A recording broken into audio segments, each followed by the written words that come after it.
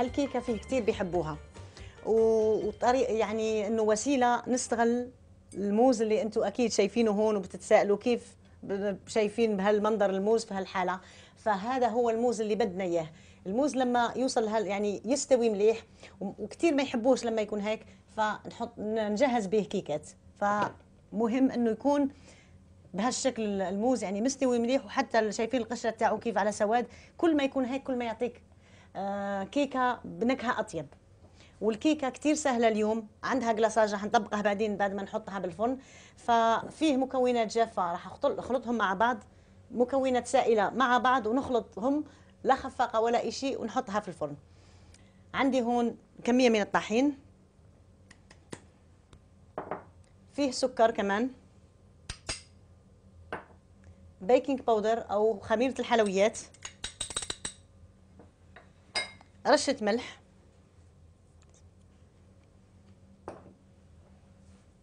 ونخلط هالمكونات مع بعض. ممكن حتى تنخلوها إذا بتريدوا. أنا نخلطها وتزيدوا مرة ثانية تنخلوها.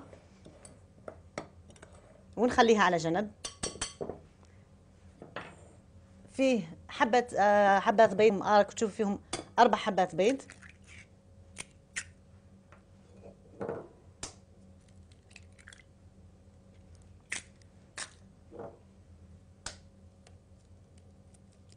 وطبعا أنتوا لاحظتوا كثير إنه البيض آه، اجمالا ما نكسرش الحبة وبضيفها إلا إذا كان طبعا نفرقهم لأني دائما بهتم بالنوعية تاعهم وكمان ال- التاريخ. دائما لما أروح نشتري البيض بهتم بالتاريخ الإنتاج اللي نجيبه.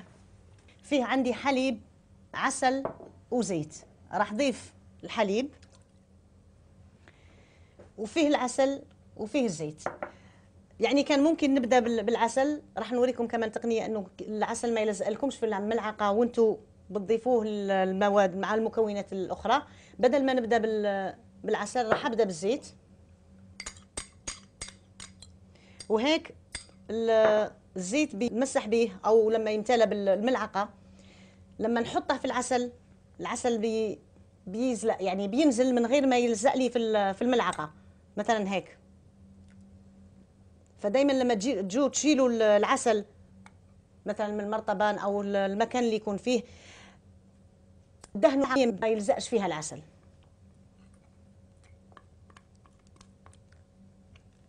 شايفين كيف ن...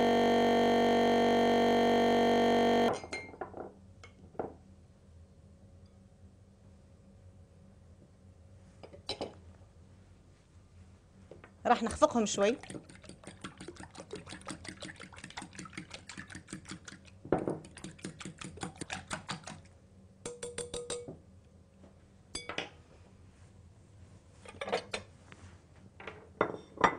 حبات الموز اللي قلت لكم لازم يكونوا مستويين.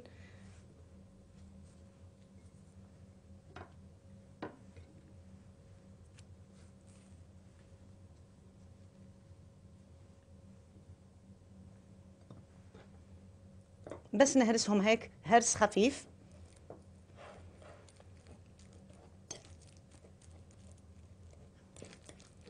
راح اضيف منه راح الكمية كلها أو حتى ممكن مثلا تضيفوا كمية وأنتم بتحطوا في الكيكة تعملوا بين طبقات.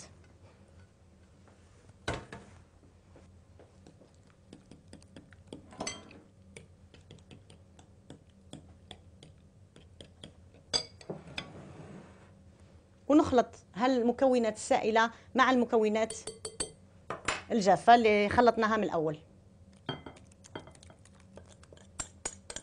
بهالطريقة. فما ما تتحجوش ما تقولوش ما عندناش وقت لأنه ما بتاخذ ولا شيء راح نتصل فيكم نجي نشرب عندكم قهوة تجهزوها في ربع ساعة.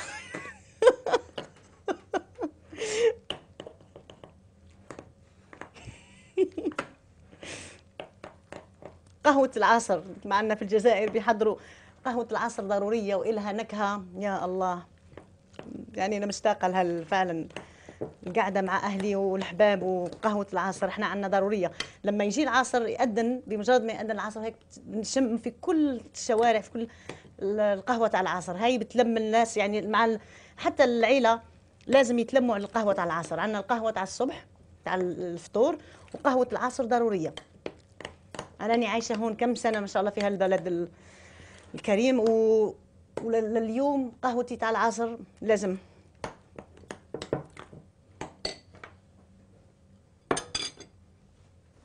وطبعا الصينيه الصينيه الحلوه هاي اللي أنا هالنوع الصواني اللي بحبها. فاليوم جايبتها على هالشكل كمان. وراح نوريكم طريقتين.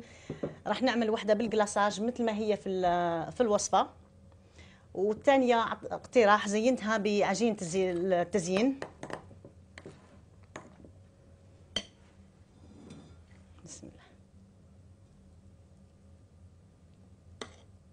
أي حد ممكن يطبق هالوصفة. يعني حتى بنت صغيرة أولاد سهلة كثير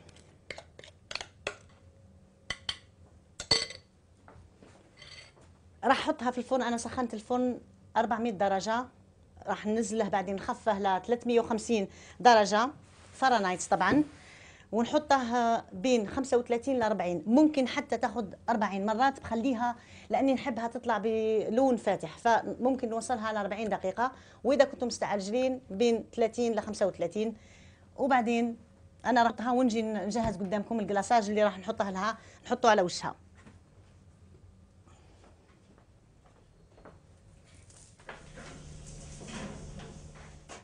عندي هون بيض بيض.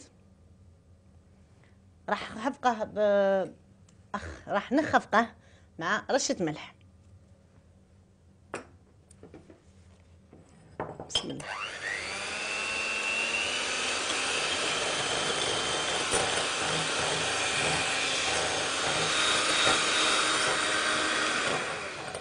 راح أحتاج ملعقة نضيف بها السكر الناعم وكمان راح دوب هالكمية تاع القهوة في ملعقة صغيرة مي.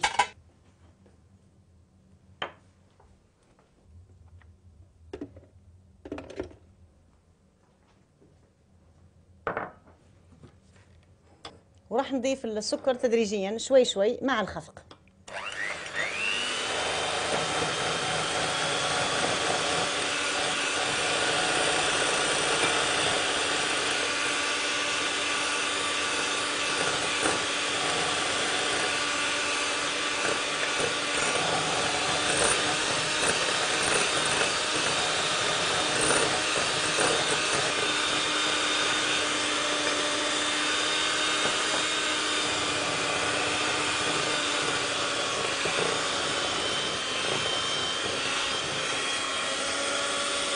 كمية القهوة.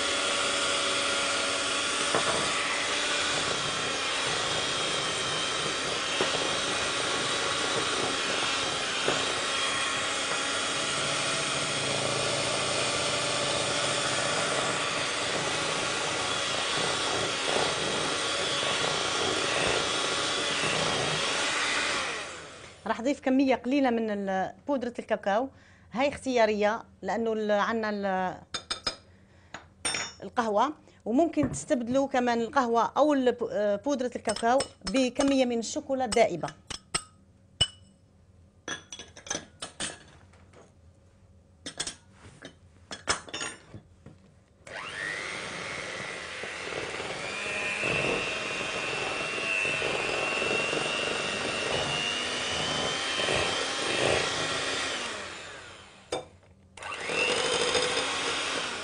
هذا هو الجلاساج طبعا آه، هو يبين لكم جامد شوي بس هذا متعمد الوصفة هيك لأنه نحطه نزين به الكيكة وهي سخنة. راح تشوفوا ينزل على الكيكة ونوريكم الخطوه بعد ما نطلعها إن شاء الله من الفرن.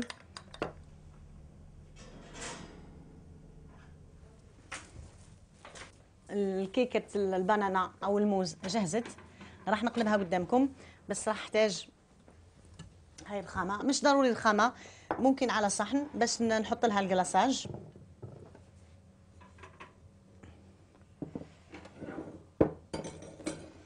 لما تجوا تقلبوها شوي شوي واللي ساعدني إنه هون فيها الفتحة.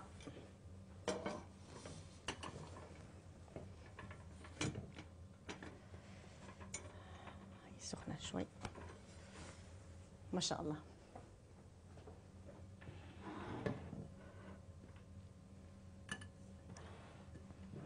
وراح نزينها بالجلاساج.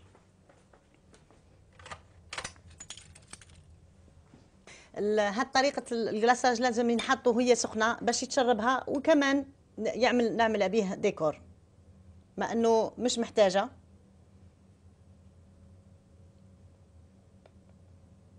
لكن لما تحطوا الجلاساج وهي سخنة آه، تتنكه كمان به وتتشربوا.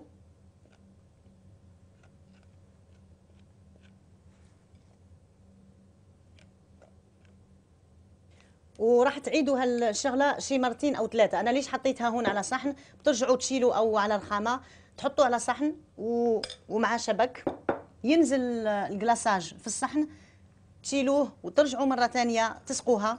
تحبوا تغطوها كلها بهالجلاساج شايفين محلاه؟ يعني أنا راح أجمعها مرة ثانية وأعيد إن كمان نعملها الجلاساج بس أنا راح أخليها لأني عاملت لكم وحدة ثانية بشكل ثاني يعني باقتراح ثاني. راح نشوفها مع طبقنا اليوم. فشفتوا اقترحت عليكم يعني كان كيكة البنانا أو كيكة الموز بالجلاساج وعملتها قدامكم ومثل ما قلت بتشيلوا الجلاساج هذاك مرة ثانية اللي حاطينه على شبك وتسقوا بها مرة ومرتين الكيكة اللي تغطوها كلها وتطلع من أروع ما يكون. وهذا الاقتراح الثاني يعني أنا هون عملتها بشكل ثاني غطيتها بعجينة التزيين. وعملت كمان بالشوكولا. زينت وين فيه يعني الصينية نفسها عندها هالشكل هذا الموديل. فتبعت الخطوات تاعو وزينتها.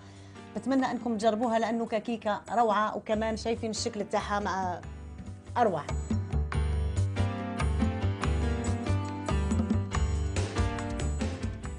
وكانت